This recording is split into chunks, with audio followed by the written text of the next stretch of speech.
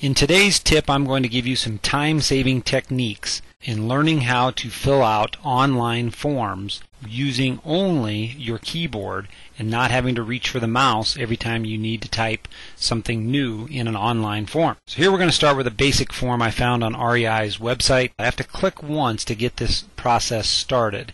So I'm going to click into prefix, choose a prefix. All I need to do is push tab on the keyboard and I immediately get to the next field where I can type in the first name, push tab again, you see it moved my cursor over to the middle initial, push tab again, I get my last name, push tab again, I'm in the phone number section, push tab again, etc. One thing you'll notice is I did not put anything in the middle initial, I did not put anything in the night phone. Every website that I know of does this, where there's an asterisk on the side or it'll be bold or it'll be a different color if that field is required. Do not give online forms any extra information that they don't ask for. So they asked for one phone number, that's all I gave to them. I skipped the night phone. Now as you notice, by pushing tab to get between the different fields, I can move very quickly through the form. One common misconception about filling in online forms is that the mouse has to be physically in the box that you're typing in. And that's not true. The only thing that has to be in the box when before you start typing is the blinking cursor. The blinking cursor is in the box that you need to type in. The mouse can be anywhere else on the page.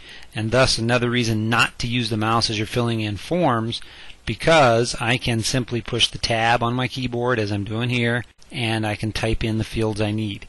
And then once I reach the state tab, so I put Green Bay there, so I'm pretending I'm living in Wisconsin.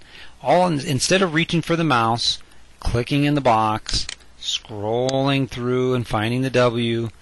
All I need to do is when I'm in the Green Bay, push tab one time. You can see the gray box around state. Push W on the keyboard. It immediately brings me to the first W in the list. Then I push W again and again, and I finally get Wisconsin. So when you reach a field that has choices, instead of using your mouse, just simply push the first letter of the choice that you need over and over until you get the, the uh, choice you want. Once I've selected that with my keyboard, I push tab again and I'm in the zip code.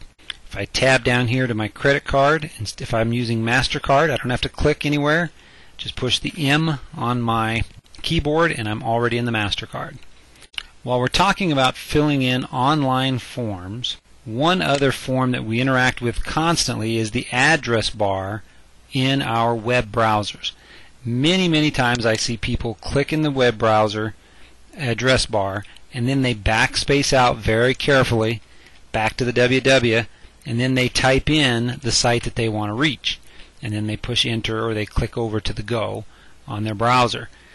Works fine, nothing wrong with that, but if you want to make it quick, you don't need to go through that extra hassle of pushing the backspace five or six times or carefully highlighting the area that you want to delete.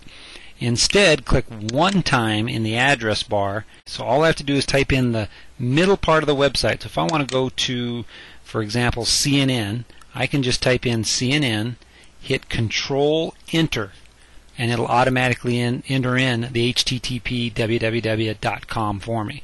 Another little quick shortcut is click one time. Anything I start typing replaces the typing that's there. So no need to go up there and carefully backspace out and leave the HTTP and the www in. Just simply click, type, and go. Don't be fiddling around with your other keys on your keyboard.